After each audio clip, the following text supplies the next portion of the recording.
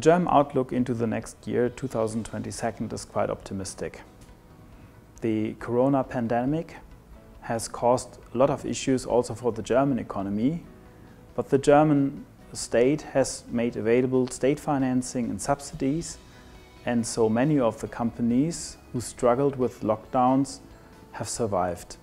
There are even less insolvency during the last year than the year before.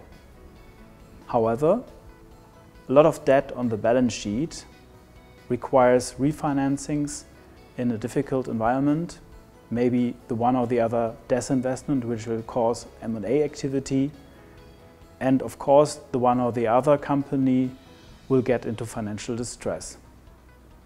More important from my perspective is the general movement of the German economy in respect of automotive, e-mobility or online trading.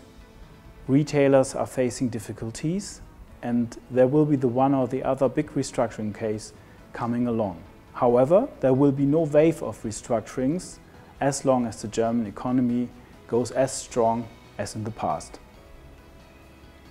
The German restructuring community will have its further experience with the German pre-insolvency frame StaRUG.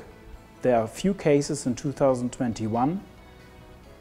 The new instrument has proved to be a strong disciplinating factor during negotiations of consensual restructuring solutions.